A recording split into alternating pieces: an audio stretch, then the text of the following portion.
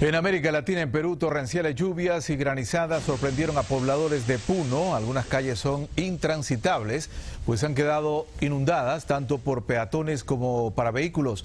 El mal tiempo sigue golpeando el sur del país. Algunas vías se convirtieron en riachuelos. Según el gobierno, las lluvias continuarán en las siguientes semanas. Se pide especial cuidado a los pobladores que viven cerca de lagos y los ríos de esa zona. Mientras tanto, en Panamá el canal reveló hoy que ha conversado con empresas distintas a las encargadas de la ampliación de vía para enfrentarse a una eventual suspensión de las obras el lunes próximo, aunque no pierde la esperanza de que el consorcio GUP recapacite y retome los trabajos a, cada, a toda marcha. Las autoridades están en busca de empresas que pudieran continuar con los trabajos de ampliación de la vía interoceánica.